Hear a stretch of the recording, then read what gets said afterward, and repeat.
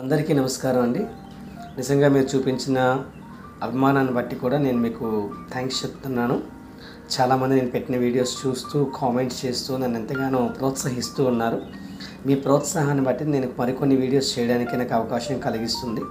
So ఈరోజు కూడా మీకు ఈ థర్మామీటర్ గురించి చెప్పాలని అనుకుంటున్నాను. ఈ థర్మామీటర్ మీరు చూస్తున్నారు. మనకి రకరకాల థర్మామీటర్స్ అనేవి అందుబాటులో ఉన్నాయి. అందులో దీన్ని మాన్యువల్ థర్మోమీటర్ అంటారు. అదేవిధంగా దీన్ని డిజిటల్ థర్మామీటర్ అంటారు. అది కాకుండా ఇంకా చెప్పాలంటే దీన్ని ఇన్ఫ్రారెడ్ థర్మామీటర్ అని కూడా అంటారు. సో ఈ రకమైనటువంటి థర్మామీటర్స్ మనకు అందుబాటులో ఉన్నాయి. ప్రత్యేకంగా ఇప్పుడు మనం యూజ్ చేస్తున్నాం. సో కాబట్టి ఈ థర్మోమీటర్ ద్వారా మనం జ్వరాన్ని ఏ విధంగా కొలుస్తాం అనే విషయాన్ని నేను మీతో పంచుకుంటాను. బహుశా మీలో చాలామందికి తెలిసి ఉండొచ్చు కానీ తెలియని వాళ్ళకి చాలా వరకు ఉపయోగపడుతుందని నేను అనుకుంటున్నాను. సో ఇందులో మనం చూసినట్లయితే ఈ డిజిటల్ థర్మోమీటర్లో మనం ఈజీగా ఫైండ్ అవుట్ చేయొచ్చు. ఎందుకంటే ఇక్కడ మనకి ఆన్ ఆఫ్ బటన్ ఉంటుంది కాబట్టి దీన్ని మనం ప్రెస్ చేయగానే మనకు అర్థమవుతుంది. అక్కడ దీన్ని ప్రెస్ చేసి మనం ఆన్ చేస్తే అందులో లో అనే బటన్ చూపిస్తుంది. అది చూపించగానే మనం ఒకవేళ ఆంపిట్స్లో కానివ్వండి లేదంటే నాలుగు క్రింది భాగంలో కానీ పెట్టడం వల్ల ఒక రీడింగ్ చూపిస్తుంది. ఆ రీడింగ్ని బట్టి మనం చెప్పచ్చు. సర్వసాధారణంగా ninety eight point six Fahrenheit అనేది ఉంటుంది. అది కాకుండా థర్టీ సెవెన్ డిగ్రీ సెల్సియస్ కూడా ఉంటుంది. So thirty seven degree Celsius అన్న ninety eight point six reading ఉన్నా సరే అది నార్మల్ టెంపరేచర్ అనే విషయాన్ని మీరు తెలుసుకోండి. ఇక మనం చూసినట్లయితే ఇది డిజిటల్ కాకుండా మనం మాన్యువల్ థర్మామీటర్ కనుక మనం గమనిస్తే చాలా వరకు దీన్ని దీన్ని చూసారా? దీని ఫ్రంట్ పార్ట్ గమనించారు కదా? సో ఇది నాబ్లా కనిపిస్తుంది. తర్వాత ఈ నల్లటి చార వంటి భాగం కనిపిస్తుంది కదా దాన్ని మెర్కిరీ అంటారు. సో మీకు ఆల్రెడీ కనిపిస్తుంది అనుకుంటున్నాను. సో ఈ మెర్క్యూరీ అనేది మనం ఎప్పుడైతే ఆంపిక్స్లో కానీ చంక భాగంలో కానీ లేదనుకుంటే నాలుగు నాలుగు కింది భాగం కానీ పెట్టినప్పుడు ఏమవుతుందంటే మన యొక్క టెంపరేచర్ లెవెల్స్ అనేవి కనిపిస్తూ ఉంటుంది. చూసారా? కిందనైతే ninety four ninety six ninety eight hundred.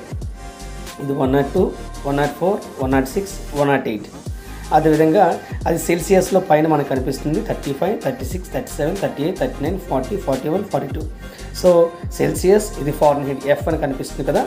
So ఆ విధంగా మనం ఫైండ్ అవుట్ మనం చేయొచ్చు. మీకు చెప్పినట్టుగా రీడింగ్స్ గమనించారు కదా? అయితే ఇక్కడ మనం తీసుకోవాల్సిన జాగ్రత్త ఒకటే. చాలామంది ఈ నాబ్ భాగంలో ఇలా ఫింగర్తో పట్టుకుంటారు. అలా పట్టుకోవడం వల్ల రీడింగ్స్ అనేవి మారిపోతాయి. సో కాబట్టి ఇప్పుడు కూడా దాన్ని టచ్ చేయకండి. ఓకే ఇక రెండవదిగా ఏంటంటే ఎప్పుడైనా సరే చూసేటప్పుడు దీన్ని జస్ట్ ఇలా జస్ట్ కిందకి ఇలా షేక్ చేస్తుంటే ఆ మెర్క్యూరీ అంతా కూడా క్రింది భాగానికి వచ్చేస్తుంది. ఈ మెర్క్యూరీ అంతా కూడా క్రింది భాగంలోకి ఇక్కడ వరకు దిగిపోతుంది. ఆ తరువాత మనం ఆ పేషెంట్ యొక్క నోటి భాగంలో కానీ నోటి క్రింది భాగంలో ఐ మీన్ నాలుగు క్రింది భాగంలో కానీ ఆమ్ పిట్స్లో కానీ పెట్టేటప్పుడు అప్పుడు ఆ రీడింగ్ అనేది పైకి వెళ్తుంది. కాబట్టి ఫస్ట్ తీసుకోవాల్సిన జాగ్రత్త దీన్ని టచ్ చేయకూడదు. రెండవది ఈ మెర్క్యూరీ అనేది పొరపాటున పైకి రానివ్వకుండా ముందుగా పేషెంట్ చూసేటప్పుడు దాని క్రింది భాగంలో ఉండేటట్టుగా చూసుకోవాలి.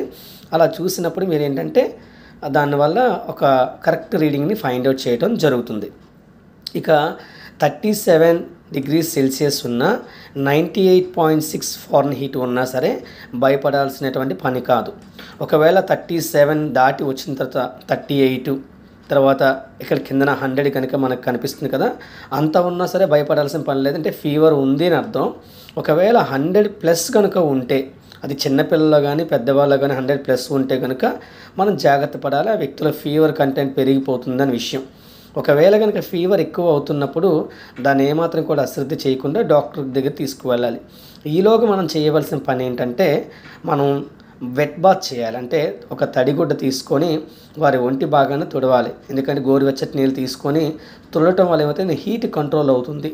లేదనుకుంటే చాలా రకాలైన ప్రమాదాలు కూడా వచ్చే అవకాశం ఉంటుంది. ఆ తర్వాత మీ దగ్గర ఇది పెట్టుకోవటం వల్ల ప్రతి ఒక్కరి ఇంట్లో కూడా ఈ థర్మామీటర్ ఉంచుకోండి. పరిస్థితులు అనేవి రకరకాలుగా ఉన్నాయి కాబట్టి ఆ జ్వరాన్ని మనం వచ్చిన తర్వాత ఎంత ఉంది ఏంటి అని దాన్ని బట్టి మనం ప్రికాషన్స్ తీసుకోవడానికి అవకాశం ఉంటుంది. కాబట్టి ప్రతి ఒక్కరూ దీని పట్ల అవగాహన కలిగి ఉండాలని నేను మీకు మనవి చేస్తూ నేను ముగిస్తున్నాను. Thank you